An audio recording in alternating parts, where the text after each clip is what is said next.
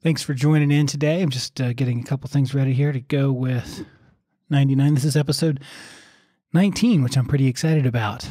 This is our starting our third set of nine episodes. Today we're going to be talking about steps, as a matter of fact. So, uh, yeah, settle in. Ready? Welcome to 99, brought to you by Prolificate.com. I'm your host, Andrew Church. Prolificate is where I write, podcast, and talk about people and ideas that illuminate the world, light it up. One of those people is you. And 99 is a weekly nine minute spiritual practice designed to challenge you just the right amount and also remind you to take care of yourself. This is a little bit like going to the gym, only better. Illuminating the world is really hard work, so we need you whole. I'm going to invite you to take a couple of breaths with me so that we can both kind of sync up and settle in. So, from way down in your belly, we're going to inhale for a count of four, hold for three, and then exhale for seven. Ready? Inhale. Hold. Exhale. Two, three, four, five, six, seven. One more time. Inhale. Hold. Two, three. Exhale. Two, three, four, five, six, seven. Are you impatient sometimes? No, I didn't think so. Did you? Are you impatient sometimes? Do you look to the future as the solution to your problems, like I sometimes do? I catch myself in this mode when I'm browsing eBay or Amazon for the next cool piece of electronic gear, or I remember that time I bought a Jeep. Oh, was that four wheeler going to change my life? I was going to be one of those intrepid adventurers who heads off to the wilderness on a moment's notice, great hair blowing in the wind with the top down. As I drove by, people would probably notice my rugged good looks and want Jeeps themselves. I would undoubtedly start a movement. oh boy, my my friend, the theme for our time today is steps. As in the kind it takes to make progress.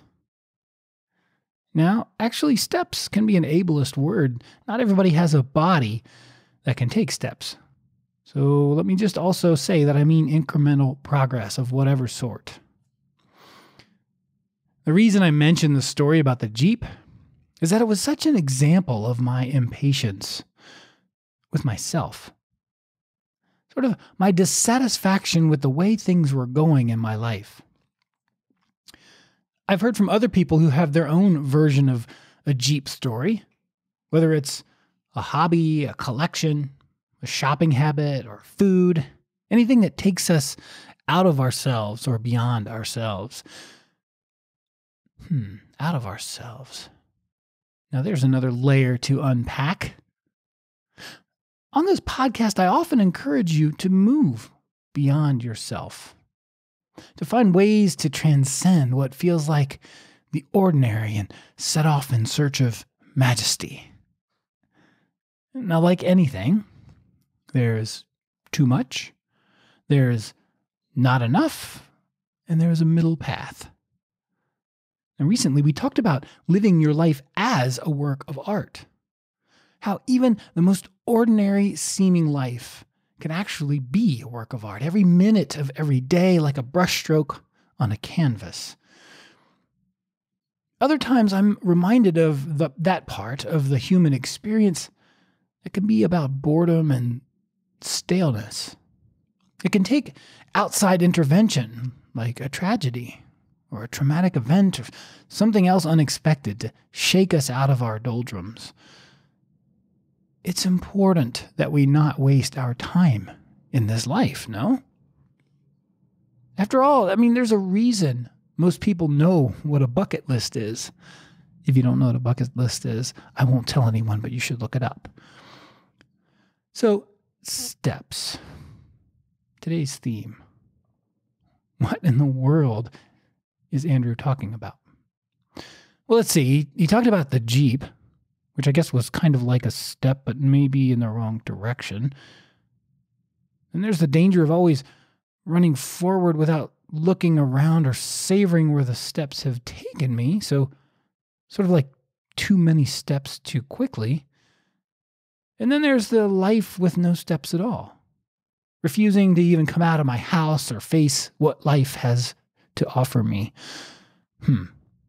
So, what's left? Well, I suppose in literary terms, we haven't hit on the Goldilocks solution just right. Or, as my 12 year old daughter just pointed out, actually, that would be the baby bear solution, Dad. Goldilocks is just colonizing the bear family's experience. Hmm. So, what, what, what is it that's just right when it comes to steps? Hmm. What would the baby bear answer be here? Let's see, your life is marching on every minute, every day, with your participation or without it. Are you present in it? Hmm. Think about that. For better or worse, every step in your life has brought you here to this point. If you think that you're created with some purpose to fulfill, then there must be some value in your being in this place right now, no? If you think this whole experience of life is just pure chance and random evolution, well, you're still here, right?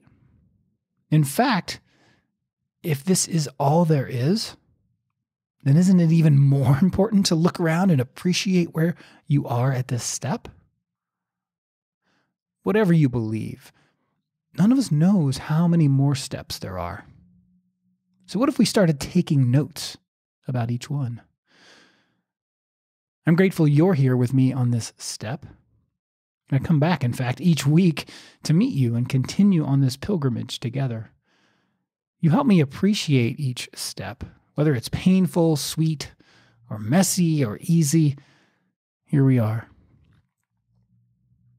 Dr. King said, If you can't fly, then run. If you can't run, then walk. If you can't walk, then crawl. But whatever you do, you have to keep moving forward. Now, Dr. King was talking about the fight for justice. And I think it applies in our everyday lives as well. Let me paraphrase another one. Let me paraphrase another quote from Henry David Thoreau, who said, The price of anything is the amount of life you pay for it. So, what are you buying with your life?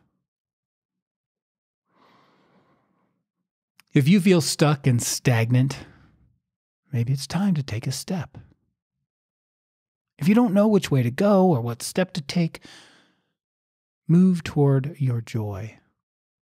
Make one, just one small step in that direction even if it's the simplest thing. Take a small step, look around, look for joy again, and make another step. Now, the Jeep I told you about? it turns out it wasn't the Jeep that represented joy for me.